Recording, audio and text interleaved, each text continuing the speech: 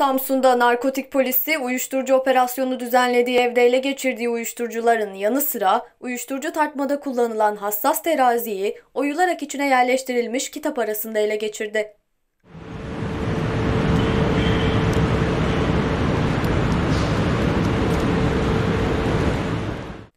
Olay Samsun'un ilk adım ilçesi Hastane Mahallesi'nde meydana geldi.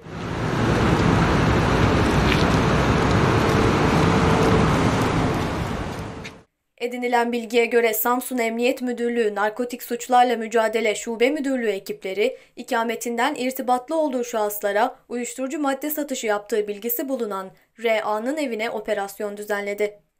Evde yapılan aramada 57 gram toz esrar, 1,17 gram kubar esrar, 2 paket halinde 3,45 gram metamfetamin maddesi, 2 adet uyuşturucu içme aparatı ve 5 adet 9 mm çapında tabanca fişeği ele geçirildi. Polis evde yaptığı aramadaysa uyuşturucuları tartmada kullanılan hassas terazinin içi oyulan bir kitaba yerleştirilerek gizlenmiş olduğunu tespit etti.